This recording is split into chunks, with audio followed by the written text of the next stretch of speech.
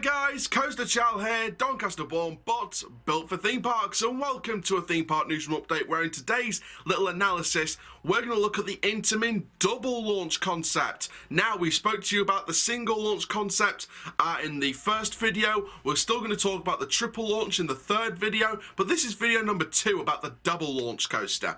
Uh, so we're going to look at the concept as usual and during the POV share my early thoughts and go into more detail about my thoughts uh, afterwards as well. So, before we get started, as per usual, please like, comment, subscribe, cut notification bell so you never miss YouTube video. We're on the road uh, to two, uh, well, 3,000 subscribers. We're trying to hit that. We're currently on the road to 2,400, which means we're nearly halfway to 3K. Um, we're trying to get to 4K by the end of the year, as well as 1 million views, and we're getting closer and closer every single day to those milestones. So please, please, let's help the channel out. Also, guys, check the description down below for social media links, Google Forms link, and also the original video. Even though currently, as of recording this, it's unlisted on YouTube, if you got the link, you can watch it. So I'm going to put the link for it in the description down below so you can check out the concept for yourself. And for now, guys, let's have a look exactly what's going on with the Intamin Double Launch Coaster.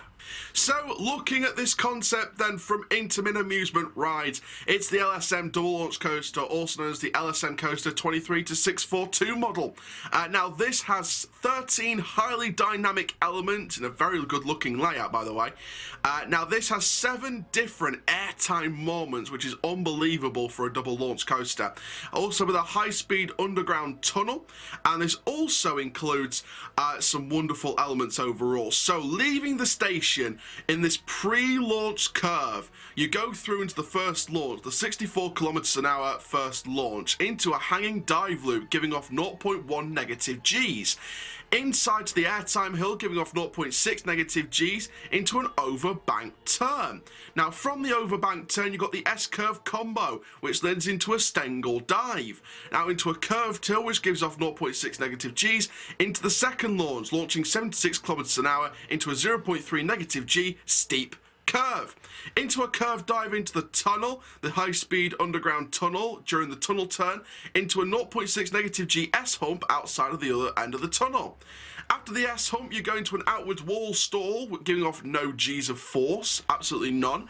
Uh, now with a low ground curve past the rock work, jumping into the brakes, which gives you a 0.4 minus negative G's. So, my early thoughts on this concept, amazing. Again, just like the first one, I'm, I'm sure just like the triple launch coaster we'll go on to in the next video, uh, this again gives off beautiful landscaping. You see all the plantery around and the rock work. Obviously, some parks will not use the same rock work and the same trees uh, landscaped as this concept. Uh, however, this is just to give an idea of the coaster's layout. Again, just like the first one, just like the other one, uh, blue track, white colour scheme, but of course this is not the final colour scheme for any that go into parks uh, around the world.